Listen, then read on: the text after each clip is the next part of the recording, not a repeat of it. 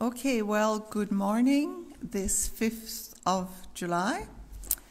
Um, some of you, well, not those who are tuning in now, some of you who will tune in later, I'm sure, are in warm climes, enjoying the summer, even if under restrictions. We're in Melbourne, where today is not as cold as last Sunday was, but we're in our winter and all of you in Australia will know that um, we've had a big glitch in our suppression of COVID 19. And so several of our suburbs, I think now 12, are in lockdown. And probably hardest of all is that nine tower blocks of Housing Commission flats are in total lockdown for at least five days because there's been a real spread of the virus there. So, those of us who are not in those suburbs are feeling sad for them and spoiled, and yeah, hoping and praying that we can get back on top of the virus, which seems to have got away from our yeah from our people. Um, I hope most of you are in a better place and um, thank you for joining us, whether now live or later on at a time which is not the middle of the night for you. Um, I'm glad again that we have one other person with us today in church, and that's Suzanne. It really is nice for us not to be just on our own. Okay, so I see the clock is ticking to 11 and I'll hand over to Graham.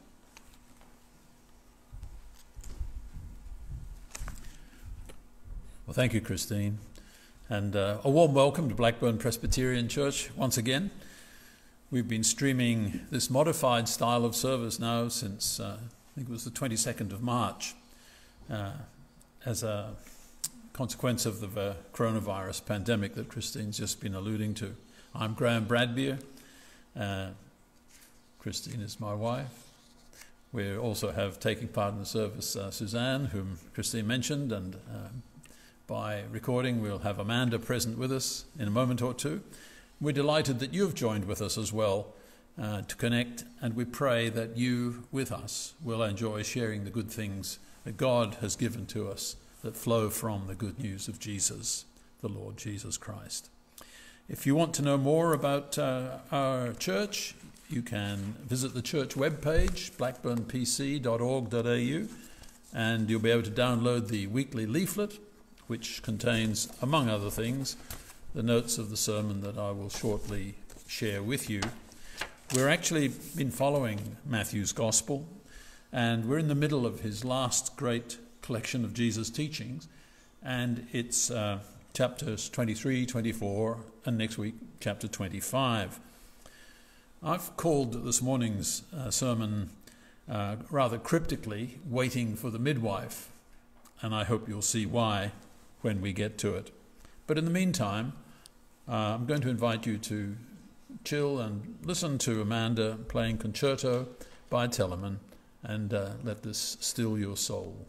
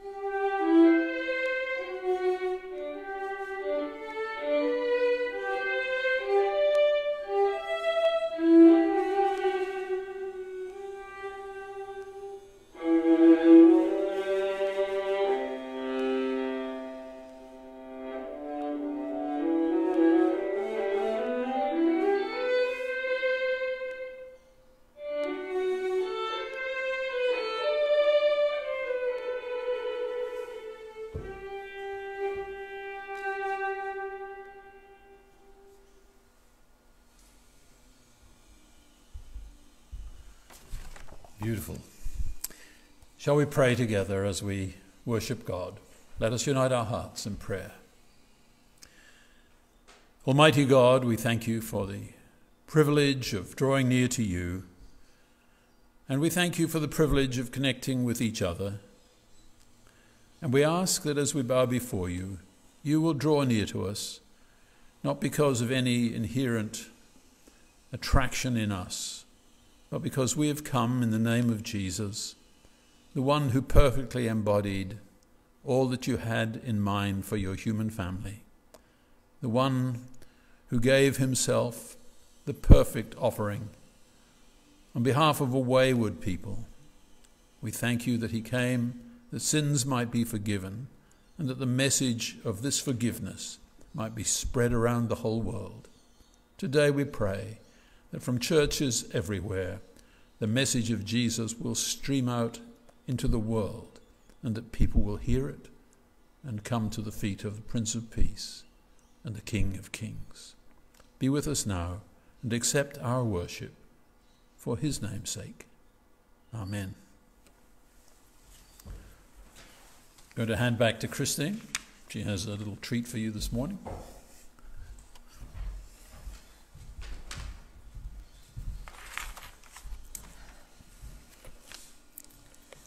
Well, last week, um, Monday and Tuesday, we spent in Port Fairy with our oldest daughter and her three children.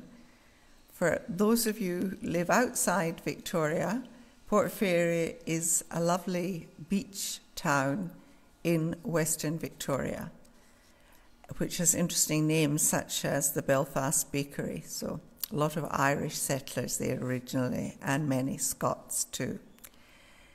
The weather and the sea were too chilly for us to go into the water, which we normally love, so we had to find other activities.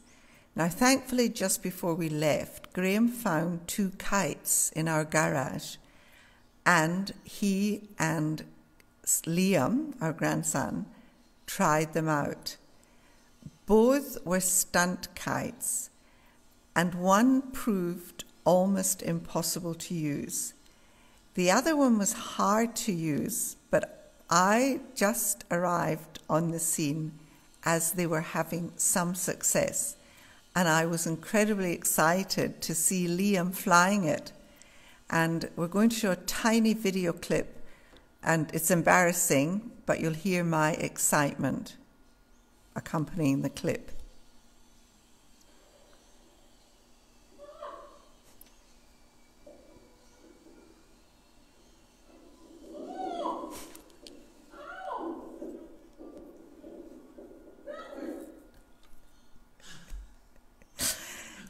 And I've no idea what I was about to say, whether it was cut off, I don't know. Anyway, the next day, Liam and his mum spent all of $3 in an op shop and got a more basic kite, which flew much higher and for longer. And we have photographic evidence of that. If you can see in the bottom right hand corner, there's Liam, and you see how high the kite is, and it's not crashing to the ground. So I'm hoping that soon, COVID 19 and time and everything else permitting, Liam and his grandpa will soon have opportunities to work a bit more on the stunt kites. Now, it's been suggested, and I don't think it's too long a shot, that Christians are a bit like kites in that we come in all shapes, sizes, and colours. The Bible fleshes out for us the great diversity that existed already among the membership of the first century church. If you look up Galatians 3:28, you'll read, "For in Christ Jesus you are all children of God, through faith there is neither Jew nor Greek, there is neither slave nor free. There is no male and female, for you are all one in Christ Jesus. Another way in which I think we could say that kites give us an image of what it's like to be a Christian we are guided and held steady by the hands of our trustworthy and strong and loving Master. In the Gospel of John, chapter 10, verses 27 to 30, Jesus refers to his followers as his sheep. My sheep hear my voice, and I know them, and they follow me. I give them eternal life, and they will never perish. And now's the bit about the hands steadying the kite. No one will snatch them out of my hand. We all know that wind can snatch the ropes of the kite out of the guiding hands. No one will snatch them out of my hand. My Father who has given them to me is greater than all, and no one is able to snatch them out of my Father's hand. So, in what remains of the winter school holidays here in the southern hemisphere and in the much longer summer holidays in the north, may we all enjoy kite flying whether as participants or observers. And as we do so, let us be grateful for the diversity of the Christian church and the love which will not let us go. May God bless us all.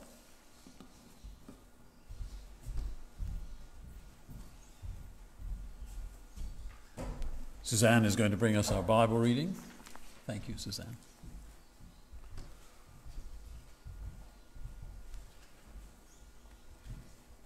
Good morning, everyone. Today's reading is Matthew chapter 24, verses 1 to 25. The destruction of the temple and signs of the end times. Jesus left the temple and was walking away when his disciples came up to him to call his attention to, the, to its buildings. Do you see all these things? He asked. Truly I tell you, not one stone here will be left on another, every one will be thrown down. As Jesus was sitting on the Mount of Olives, the disciples came to him privately. Tell us, they said, when will this happen? And what will be the sign of your coming and of the end of the age? Jesus answered, Watch out that no one deceives you. For many will come in my name, claiming, I am the Messiah, and will deceive many. You will hear of wars and rumours of wars, but see to it that you are not alarmed. Such things must happen, but the end is still to come. Nation will rise against nation, and kingdom against kingdom. There will be famines and earthquakes in various places. All these are the beginning of birth pains. Then you will be handed over to be persecuted and put to death, and you will be hated by all nations because of me. At that time, many will turn away from the faith and will betray and hate each other. And many false prophets will appear and deceive many people. Because of the increase of wickedness, the love of most will grow cold, but the one who stands firm to the end will be saved. And this gospel of the kingdom will be preached in the whole world as a testimony to all nations, and then the end will come. So, when you see standing in the holy place the abomination that causes desolation, spoken of through the prophet Daniel, let the reader understand, then let those who are in Judea flee to the mountains. Let no one on the housetop go down to take anything out of the house. Let no one in the field go back to get their cloak. How dreadful it will be in those days for pregnant women, women and nursing mothers. Pray that your flight will not take place in winter or on the Sabbath, for then there will be great distress unequalled from the beginning of the world until now, and never to be equalled again. If those days had not been cut short, no one would survive. But for the sake of the elect, those days will be shortened. At that time, if anyone says to you, Look, here is the Messiah, or there he is, do not believe it. For false messiahs and false prophets will appear and perform great signs and wonders to deceive, if possible, even the elect. See, I have told you ahead of time. This is the word of the Lord. Thanks be to God.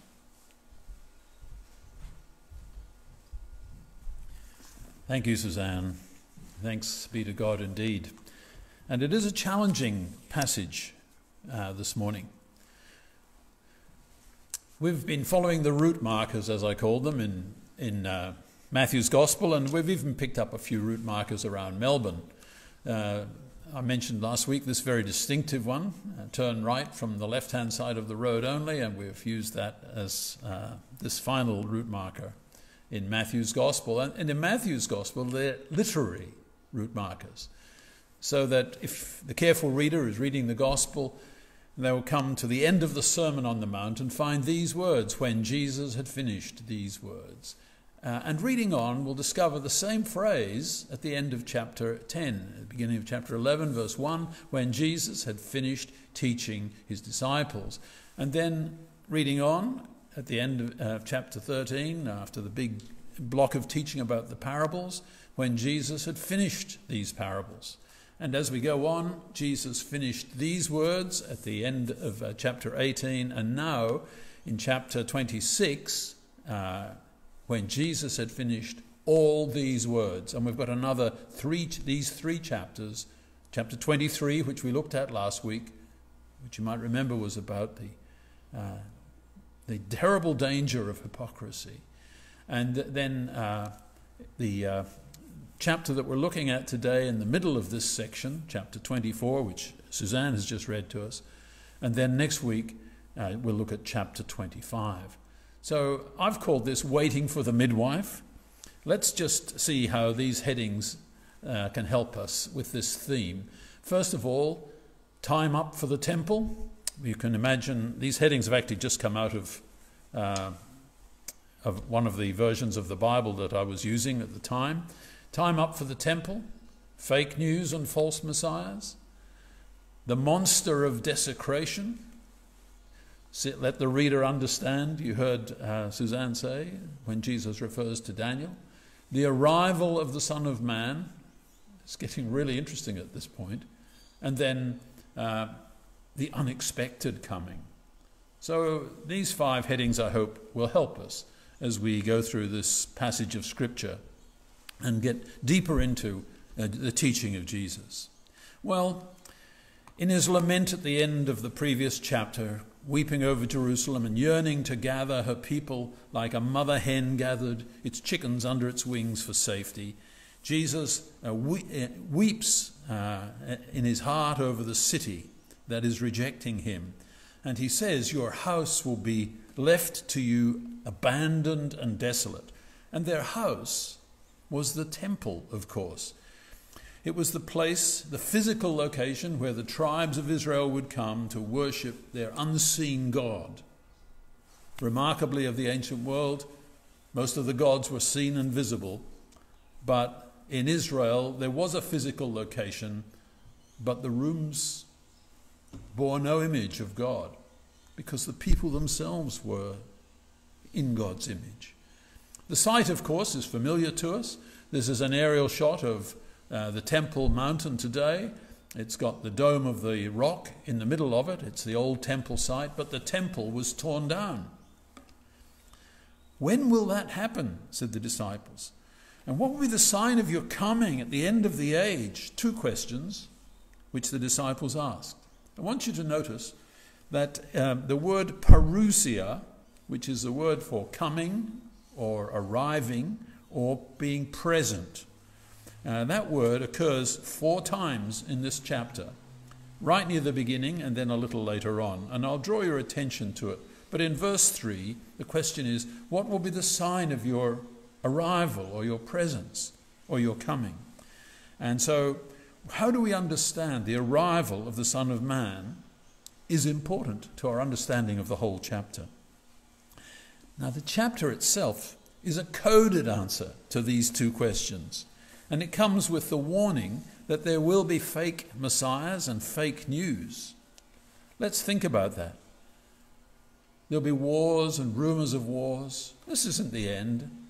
Things will be continuing much as they have. It's the same old, same old for humanity.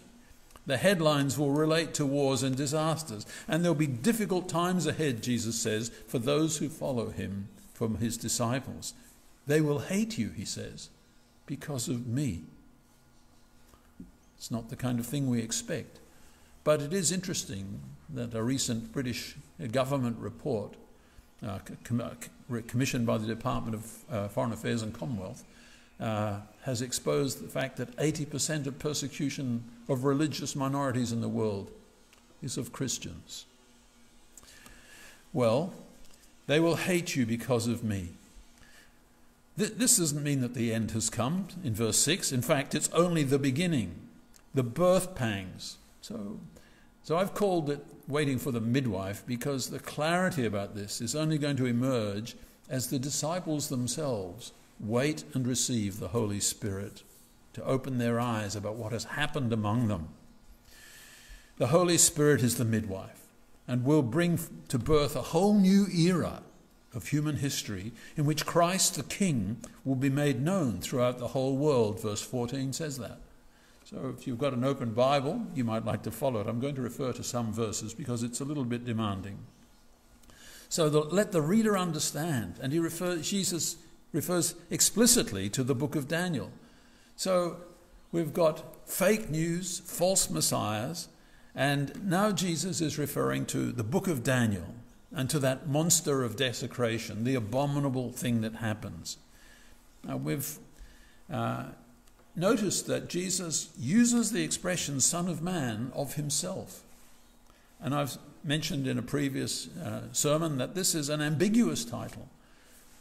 Ezekiel uses it to mean just human being, because that's what it means. It means a human being.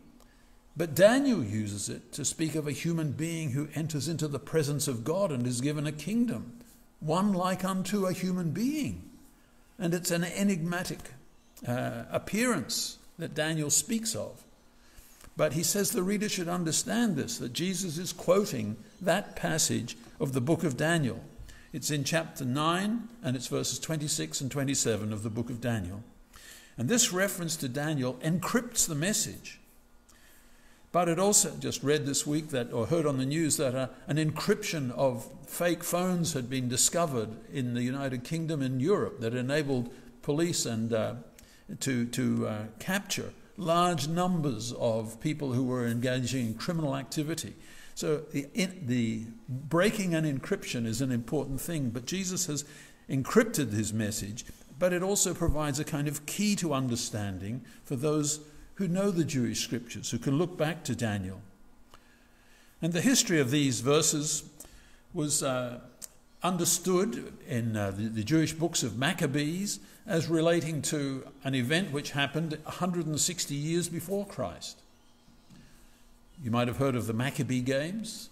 It's a nickname that was given to uh, a group of brothers who fought against uh, the tyranny of Greek oppression there was a man who called himself Antiochus Epiphanes. It really means uh, the shining of God, divine shining one. And he had, he had the, the title divine put on his, on his coins. And he eventually put down a revolt. But before that, he, he, he, he then displayed an image in the temple in Jerusalem, which, which caused this Maccabee brothers to rise up. So 160 years before Jesus, there was what appeared to be this desecration of the temple, a sacrilegious uh, Gentile pagan uh, um, asserting himself as divine in God's temple in Jerusalem. Now, that wasn't the only thing that happened, because of course the Romans came in and crushed and subjugated the Jewish people after the Greeks. And, and so the, the story of the Jewish people was one of frequent um, messianic pretenders rising up or would be messiahs. And right through, uh, through to the year 120, this was happening.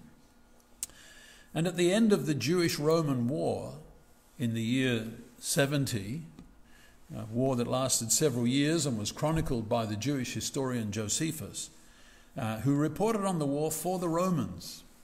Uh, it's clear that uh, Jesus is advising his disciples when they see this desecration happening in their lifetime, they have to flee to the mountains, they have to get away from there, they have to pray that it won't happen uh, on the Sabbath day, and they have to. Uh, woe to those who are uh, nursing mothers or pregnant women at that time. It'll be a time of destruction and desolation. And Josephus tells us that when the Romans finally destroyed the Jerusalem temple in the year 70, uh, innumerable people were killed. The, death toll was unimaginably high. The figure that I heard quoted was so high that I thought, well, he couldn't have counted them. Uh, and so it was a number too great to count. And, uh, but it, it, speaks of terrible bloodshed. Now, this wasn't a new thing. It had happened, in a sense, in Jewish history before. And there were to be subsequent holocausts and pogroms uh, for people of Jewish origin. But in this one in particular, a breach was to take place. The temple was totally destroyed and it has never been rebuilt. Where was God now? Where was the uh, answer to this terrible thing that had happened? If we go back to Daniel, we read there in uh, chapter 9, verses 26 and 27 the anointed one, that is, the actual word is Mashiach, the Hebrew word for Messiah, the anointed one will be put to death and will have nothing. The people of the ruler who will come will destroy the city and its sanctuary. The end will come like a flood. So, this is what Daniel has predicted. And this is what Jesus is claiming for himself as he, in this final uh, presentation of, of his material and of his teaching in the book of Matthew, is about to enter into his final conflict with the authorities, with the powers of darkness, with those who would rather war than wage peace. So, the arrival of the Son of Man, then, what is this? Well, the terms that Jesus uses to answer the question of the coming of the Son of Man in verses 29 through to 31 are typical of Jewish apocalyptic literature. They're not to be taken literally. If you take them literally, with the uh, sun being darkened and the moon turning to blood and so on, then you've got a kind of cosmic weather forecast which makes nonsense of it. It is what we call a manner of speaking, but it's a poetic expression of a terrible social convulsion. Let me try and open up this idea just a little bit. Michael Leunig uh, had a cartoon, just uh, two images in black and white in the newspaper many years ago. And when I went looking for it on the internet, I couldn't find it, but I found a one minute clip. I'm not going to use the one minute clip, but I've taken uh, four stills from it. It's called The Tightrope Walker.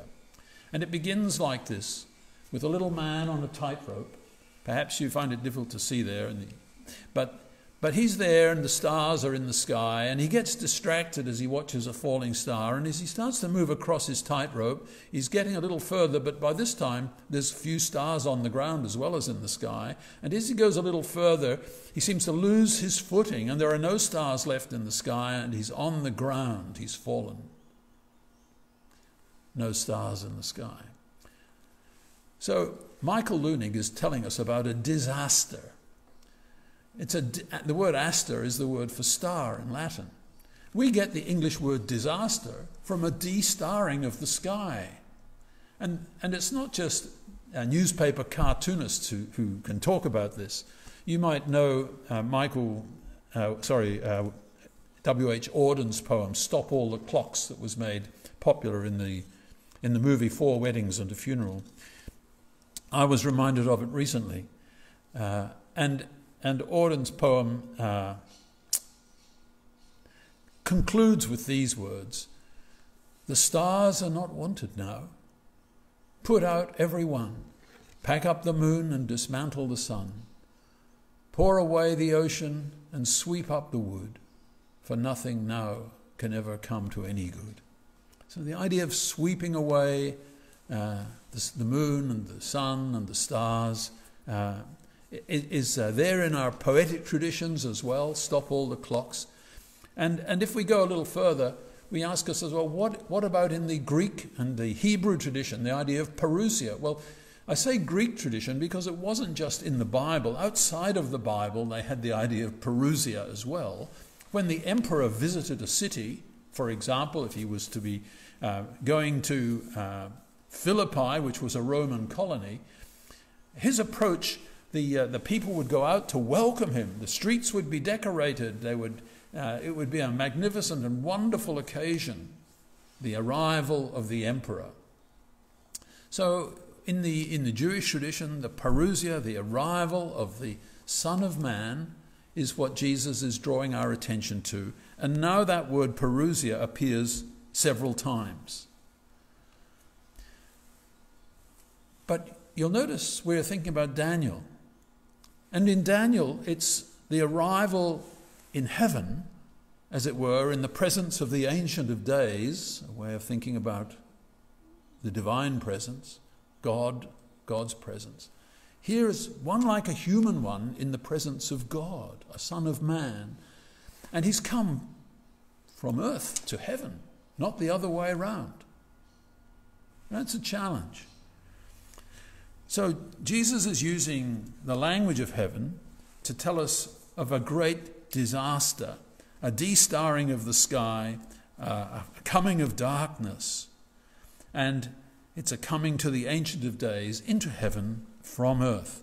And if this is the way we should think about this, the presence or coming of the Son of Man in the clouds of heaven is most likely a reference to Jesus having confidence that when he journeyed into Jerusalem to encounter the darkness of evil and the opposition that would, awaited him there, his death would be followed by an ascension into the presence of the Ancient of Days. I'm saying he staked his life on the truth of what Daniel said that this was what the Messiah had to do. He had this confidence. It had served him well throughout his ministry, and he wasn't going to turn from it at the end. That he would present, be presented with a kingdom. That's the first thing. I've given these next three points a little star to suggest there's going to be a restarring of the sky, if you like.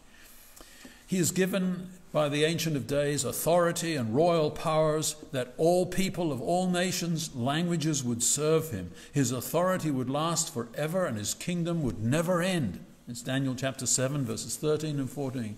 You can see how how laced with uh, the ideas from Daniel, as, as we've also seen from Isaiah and uh, Jeremiah, these ideas are informing Jesus' behavior and his teaching. Matthew records that the Son of Man will send his angels. So, this is all coming on that generation. That generation will experience this. The disciples have to face this, that there's something about to happen to the people alive at that time uh, and that he is going to receive a kingdom and it will affect them, and that his messengers will be sent into all the world. The word messenger appears in the text as angels. But you must remember that the word angelos, the Greek language, means messenger, often a divine messenger.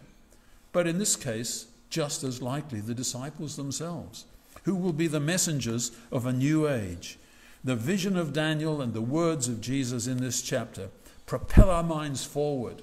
How does Matthew end his gospel? I'm sure many of you know this off by heart. Jesus saying, All authority has been given to me in heaven and on earth. Go ye therefore and make disciples of all the nations, teaching them all I have commanded you. And lo, I am with you always to the end of the age. Well, this is the beginning of that age. Jesus has it in mind. And Matthew is going to take us there, but first, Jesus himself has to go into the darkness. He has to experience the loss of all hope and the trauma that that entails in himself. Which brings us to the unexpected coming. Now, some of the expressions in this chapter may sound familiar. The trumpet will sound, One will be taken and another left behind. It'll be like a thief in the night. And much of this vocabulary has come to us linked to particular interpretation of the end times, an issue that's, that's fired up the curiosity and imagination of believers and unbelievers alike and has led to innumerable end time narrative reconstructions. Some of us have lived through some of them. You might remember David Koresh, or perhaps uh, certain others that used the internet in the early days of the internet. So there have been uh, believers and unbelievers and all sorts of people trying to imagine how they should live their lives. However, the social catastrophe envisaged will come unexpectedly. Jesus emphasizes this. He says in verse 36, it will be unexpected.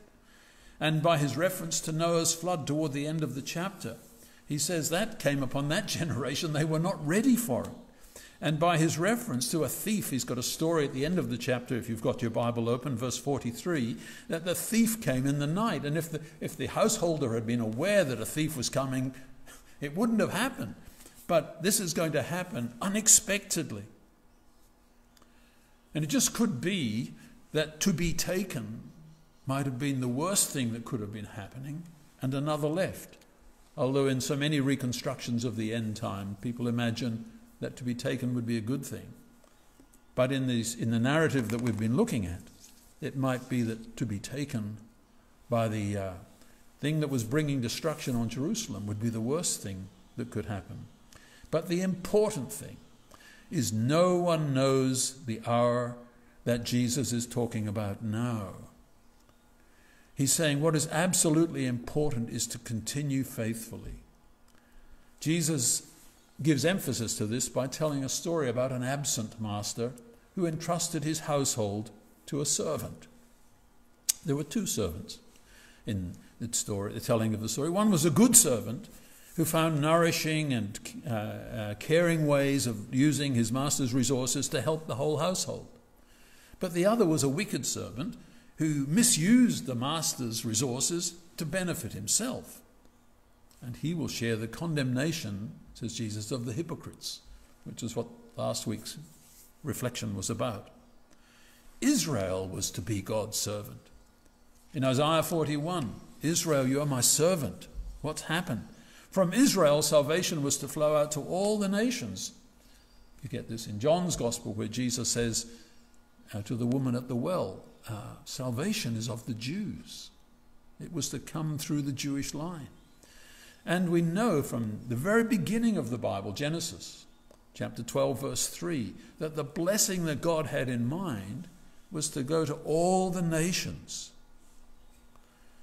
But like the wicked servants, the custodians of Israel's law and temple had abused their privilege and indulged themselves, the behavior Jesus had denounced.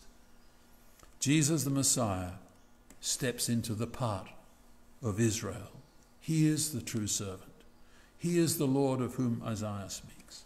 He went to the city and to the temple to be rejected, scorned, beaten, labeled as the King of the Jews, and killed. Will his disciples remain true to his teaching? Will they be mindful of their absent master, actively serving his people? When the master comes home, will his servants be faithful and wise servants? Or will they be bad servants who, has made, who have made the master's domain a place of our own leisure and debauchery? Jesus, in Jesus, we have a king who entered the darkness unimaginable, that the loving message of sins forgiven would reach into the world. Do our lives bear witness to the reign of that king? What kind of servants are we? In waiting for the midwife, uh, J.R.R. Tolkien invented a word, and the word he invented was eucatastrophe. And he calls the incarnation of Christ the good reversal in human history. And he calls the resurrection uh, the eucatastrophe of the incarnation. And according to Wikipedia, eucatastrophe has an, an inherent connection to an optimistic view of the unfolding events in the narrative of the world. We are invited to the most uh, optimistic view of what will happen in the future. That God has plans to rescue and restore and redeem his world. And we must share this with our friends and our neighbors. May we, may we be found to be those good servants in the Master's absence. Amen. Now going to lead us in prayer, and uh, our opening prayer comes from the Barnabas prayer notes, and uh, invite you to join with me in prayer. Let us pray. O God of hope, please fill us with joy and peace as we trust in you. In a world of uncertainty and anxiety, when many are mourning for loved ones, when many have lost their means of livelihood, when old familiar ways of living may be gone forever, where the new normal is as yet unknown, and where persecution of your followers looks set to increase, please make us people who overflow with hope by the power of your Holy Spirit. With the rise in coronavirus cases in Victoria, we're mindful of people experiencing renewed lockdown with the attendant frustration, inconvenience, and isolation, especially people experiencing total lockdown in tower blocks. Guide and strengthen all responsible for their welfare. May they be well cared for as we seek their health and the health of the whole community. We pray for the safety of all families with school aged children May kids be sheltered from the harshest aspects of the pandemic and find simple joys in everyday things. And for the elderly and all with pre existing conditions who are feeling vulnerable and fearful or struggling with the psychological challenges of isolation, that your comfort and reassurance will reach to them this week. These things we pray in the name of Jesus Christ our Lord and Saviour who taught us to say together, Our Father in heaven, hallowed be thy name. Thy kingdom come, thy will be done on earth as it is in heaven. Give us this day our daily bread, and forgive us our trespasses, as we forgive those who trespass against us. And lead us not into temptation, but deliver us from evil. For thine is the kingdom the power and the glory forever and ever. Amen. Amanda is going to bring our service to a close with the uh, jig by Bach. And I chose to put this at the end of the service because of its optimism.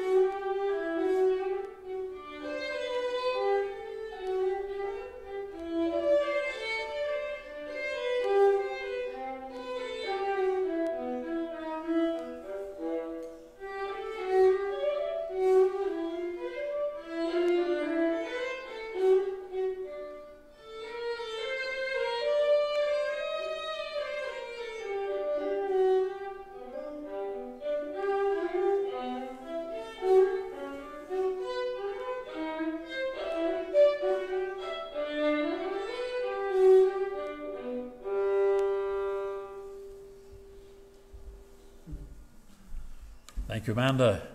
May we dance through the week in the presence of the Holy Spirit. Let us pray. Lord, may your grace, your mercy, and your peace rest upon us and remain with us and those whom we love today and all the days. now and forever.